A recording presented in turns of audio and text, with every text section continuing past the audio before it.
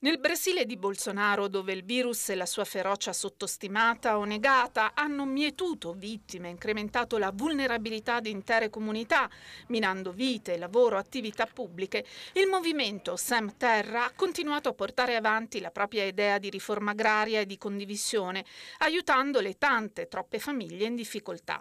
Un'azione che il Papa ha voluto valorizzare con un messaggio per la giornata dei lavoratori rurali, celebrata il 25 luglio scorso.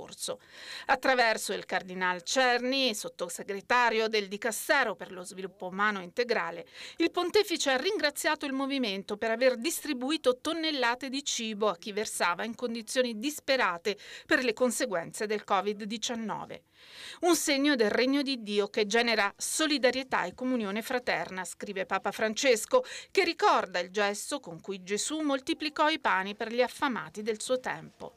La condivisione, sottolinea il Papa, produce vita, crea legami fraterni, trasforma la società. Un gesto da moltiplicare che si scrive nella tradizione dei Sem Terra, da 35 anni impegnati a creare cooperative agroalimentari nei vasti latifondi incolti del Brasile. Un'attività che in poco più di tre decenni ha aiutato oltre 370.000 famiglie, contrastando politiche governative indifferenti al destino degli ultimi.